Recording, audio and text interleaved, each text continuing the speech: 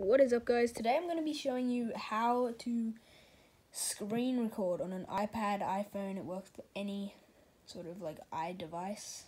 Um, it's different for the Mac, um, so I'll maybe make a video on that.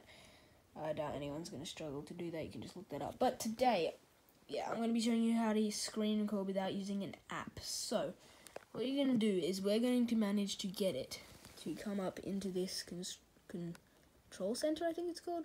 I'm not sure what it's called, but um, on some devices you have to swipe up. On mine, you just swipe down in the right top right corner. But as you can see, there's all these controls. There's cameras, so it takes you to the camera and everything like that.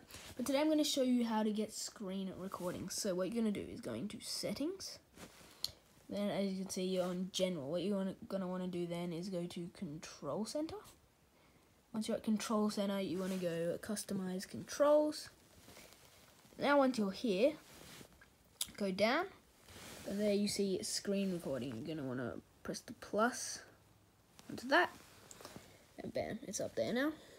So, then what you're going to do, you can go off, swipe back into your control center, and there is the recording button. So you can either just start recording and it will count down for you, like that. And you see the red bar on the top, or on iPad it's that. That's how you know it's recording, and once you want to stop, you just press it, and it'll come up. You press stop. Um, and if you want to get audio into it, I'm not sure if I already do. If you want to turn it off, if you do have it on, just hold it down, and bam.